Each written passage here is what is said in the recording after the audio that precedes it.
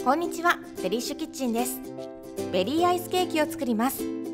ビスケット6枚とバター 10g をビニール袋に入れて袋の口をねじって綿棒で砕きましょう。バターが全体になじむように揉み込みます。ボウルに水切りヨーグルト 200g いちごジャム大さじ2砂糖 50g を入れてよく混ぜましょう。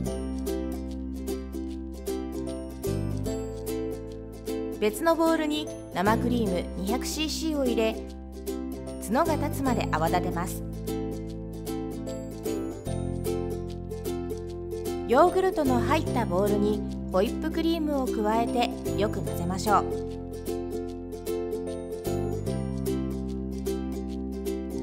牛乳パックを用意し側面を切り取ります。口の部分を閉じて型を作ったらラップを敷きましょう。そこにビスケットを敷いて平らにならしクリームを半量入れてまた平らにならします。解凍済みのミックスベリー 150g を入れたら残りのクリームを入れて平らにならしましょう。ラップを閉じ冷凍庫で一晩冷やし固めたら完成です。以上デリッシュキッチンでした。